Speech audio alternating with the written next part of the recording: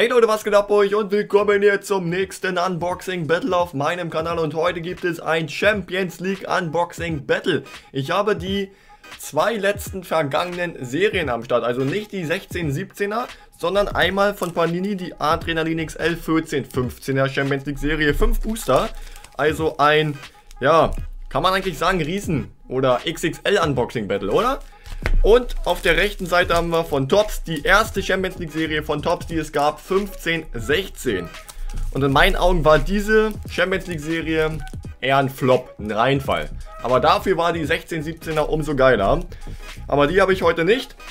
Wenn ihr nächstes Mal ein Unboxing, ein Triple Unboxing Battle sehen wollt mit allen diesen drei Champions League Serien, dann schreibt es mir unten in die Kommentare und lasst auf jeden Fall schon mal ein Däumchen nach oben da. Ich würde sagen, wir schaffen hier heute auf dieses Video die 150 Likes, oder?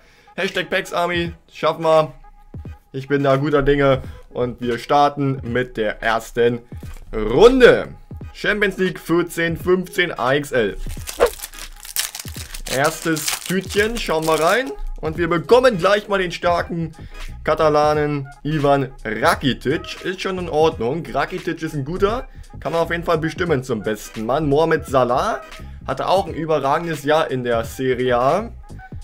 Aber Salah gegen, na, ich weiß nicht. Ömer Toprak, der fällt schon mal ganz raus, würde ich sagen. Yaya Touré ist in den letzten Jahren auch immer ein bisschen schwächer geworden. Ja, aber hm, Dominguez und Nicola Gaitan. Also, ich würde eher sagen, noch Yaya Touré fliegt hier auch schon raus. Ich schwanke zwischen Rakitic und Salah. Einige werden jetzt sagen Salah und einige werden sagen Rakitic.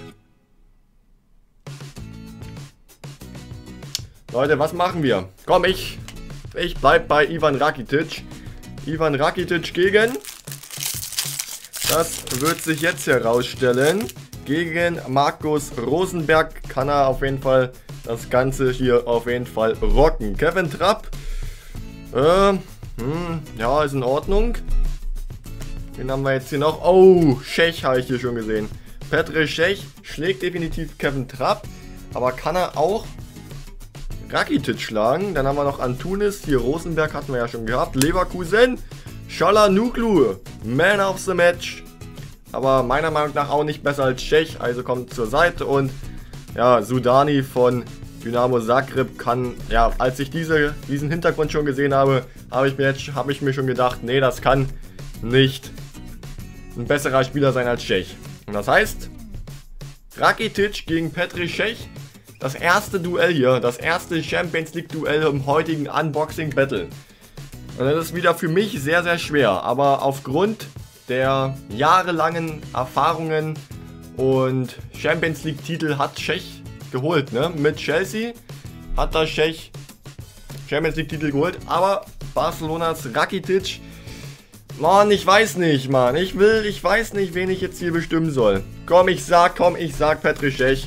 0-1, Champions League 15-16. Ich weiß, jetzt werden einige sagen, Rakitic war aber besser. Leute, das ist meine Meinung und ich, ihr habt es ja gesehen, es fällt mir schwer, da eine Entscheidung zu finden, weil ein Torhüter mit einem Mittelfeldspieler zu vergleichen ist auch immer etwas schwieriger. Am besten halt immer Position gegen Position, das ist dann am einfachsten für mich.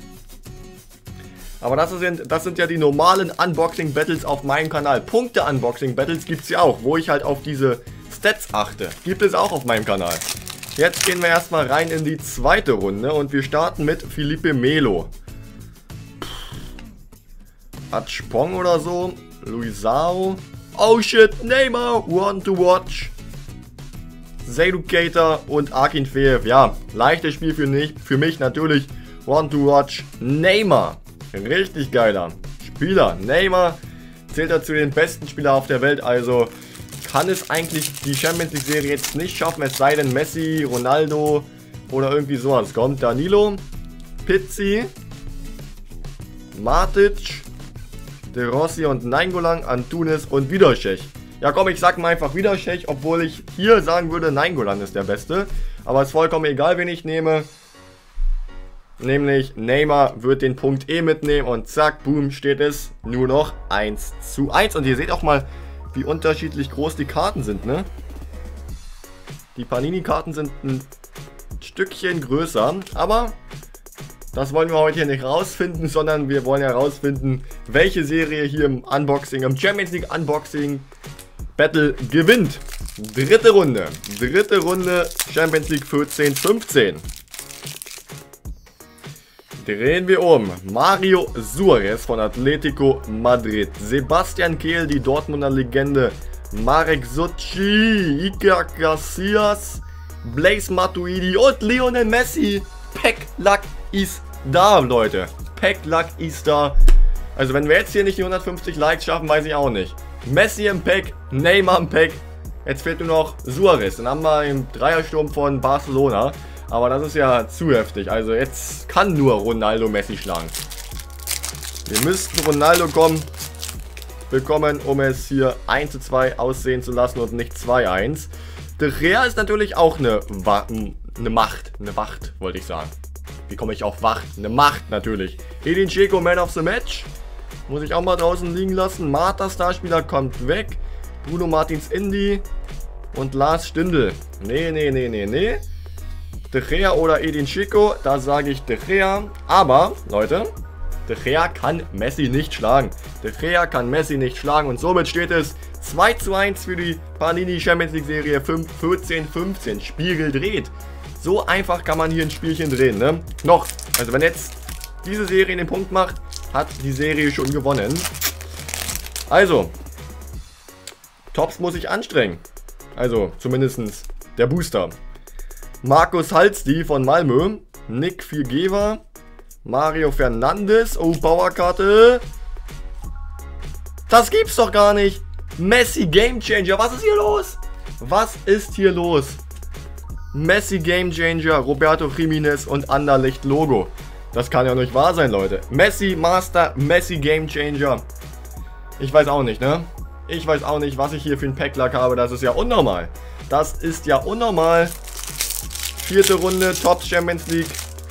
15-16 starten wir mit Djurgic, William, Semi Kedira, Galatasaray ist Wesley Snyder,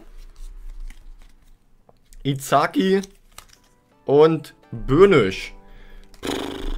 Ich schwanke zwischen diesen dreien hier, also die ersten drei. Snyder, William, Kedira ist aber auch wieder vollkommen egal. Ich nehme jetzt einfach mal Kedira.